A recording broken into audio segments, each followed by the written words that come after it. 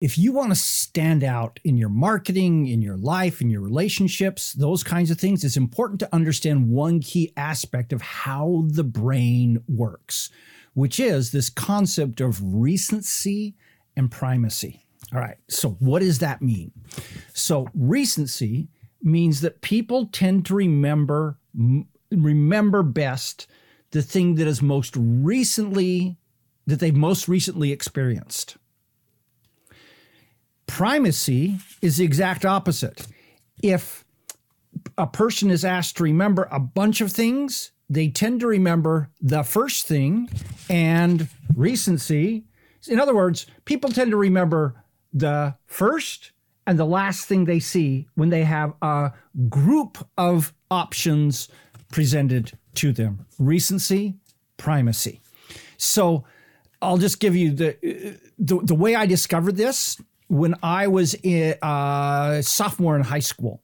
I went to an American Legion contest where we spoke about the Constitution and the Bill of Rights. And then there was an extemporaneous round where you walked in, they handed you one of the bill, one of the pieces of the Bills of, Bill of Rights, and you had to prepare a speech about it and present it in three minutes.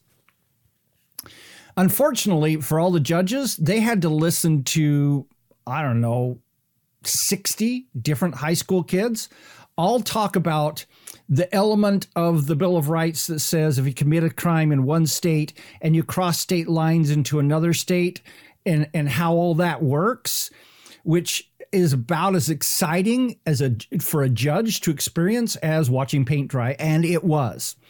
Turns out I was the last person to speak. I took first place. Guess who took second place? The first person who spoke. Guess who took third place? The second person who spoke. I saw that and I went, hmm, there's something here. So I went and I started asking people who knew what was going on. And one of them a business teacher, um, as a matter of fact, said, Hey, recency primacy, that's exactly what just happened. Okay, so the principle that the people tend to remember and focus most on the first thing they hear and the last thing they hear. Let me give you one other example of this. So, how oftentimes have you ever been to like a three day conference? As part of that three day conference, the thing they, they at the end of it, they say, What did you learn? What are the key takeaways? And what you'll find is almost all the key takeaways come from one of the last two presentations made. It's just the way the human being works. So, how about if we use this in our marketing, in our sales, in our relationships, everything else? Okay? So, I'll give I'm going to give you some examples of times when this applies just in case you are needing more examples. All right. So, first one I already mentioned a contest. And the speaking contest that I already mentioned is a great thing. So, anytime you're involved in any kind of a contest situation, you want to try to manipulate.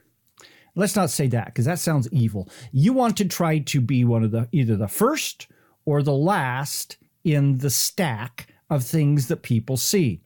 That will help you incredibly.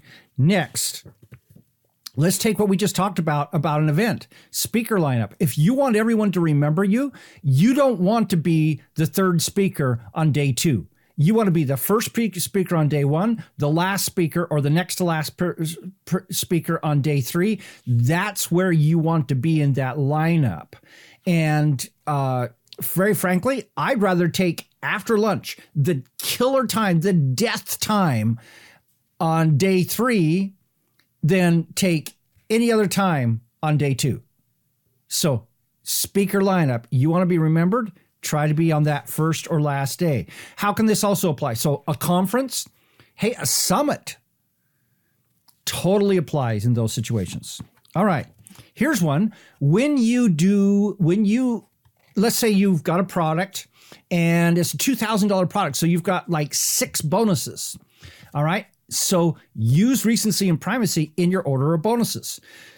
So take the single most important bonus, the one that'll cause people to buy your product just to get that bonus, and that's the last one you present. The second most popular one, that's the first one you present. and everything else goes in between and you try to do that in some kind of logical order so you can build a stack appropriately but take and make, make sure that no matter how else you structure that stack the the most important one the thing that is going to cause people to buy most is the last one the second most important one is the first one because they're going to tend to mush out every everything in between and totally forget them Another one that some of you may be involved in is investor pitches. So they're they're oftentimes uh, contests where it's like a business plan competition or something like that, where you're going and you're presenting to a group of investors your your different plans. Well, try to be first, try to be last, or close to last in that in that equation.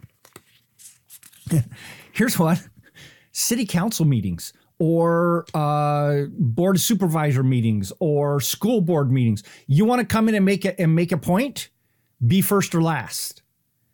That's really important if you want them to pay attention. Because trust me, I've sat through some city council meetings. Everything's mush all the way through the middle of it. People are looking forward to get out. You're the last one. Show them that. Um, applications. If you ever have to apply for a job or something like that, here's one of the things I've learned in doing a lot of job job application things lately, uh, where I've been seeing other people's job applications and trying to decide who to give interviews to and those kinds of things. It is astounding the percentage of those applications that are going to come in in the last two hours of the last day. And here's what happens when you put a job proposal out the first one or two resumes that come in, you're so excited that someone is interested in the job that you read those and you pay a lot of attention to them. I personally, if you are interested in a job and a job job uh, posting comes across, get on it right that minute. Get that one of the very first things that they see. Trust me, it'll be hard to be the last one because everyone is going to be delivering last time last one. They're not doing that because of recency and primacy. They're doing it because of procrastination. And so it's going to be difficult for your thing to be seen last. So be first. Get there right out of the gate gift giving we use this with my kids on christmas all the time okay we want to make sure that that first gift that they give is something they'll really like the last gift that they get is something they really like, and the clothes, that's in between. So it works there too. And by the way, recency primacy, I'm going to show you the last one. And I saved a very important one for the last one because I want you to remember it. As you are selling your products and you're giving people a list of features and benefits that they should pay attention to, make sure you put your most important ones first and last so that they'll remember them. One final comment in regards to all this. All of this, recency primacy works the most when everything is just about equal. Sometimes we don't have the ability to control where we fit in that stack, as well as even if we can control where we fit in that stack, you should always work to try to be unique and memorable. So to go back to that original story, that high school someone's someone commits a crime and crosses state lines, how does that work? One of the reasons why I came in first in that is because I didn't choose someone shoplifted and then I chose a wild, wacky crime. I can't, I'm sure it was not stealing an aardvark, but it was something like that. That as I as I presented it, I watched all the faces of all the judges in the audience crack up because of the particular crime that I had chosen. So choose something to be slightly different. By the way, I just see Susie Nelson just posted something about Clubhouse. This works on Clubhouse too.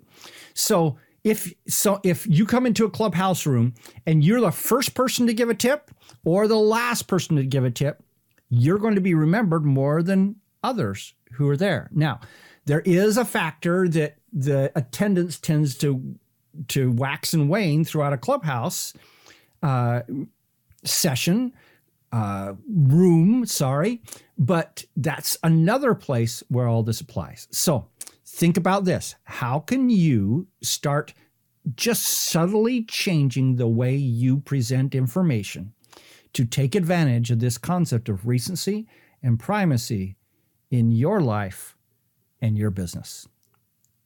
Let me know what I missed in the comments. Let me know of times where you've used this principle in your own business to help you. I'd love to hear about any other ideas that you've got. This is Don Crowther saying, just go do this stuff.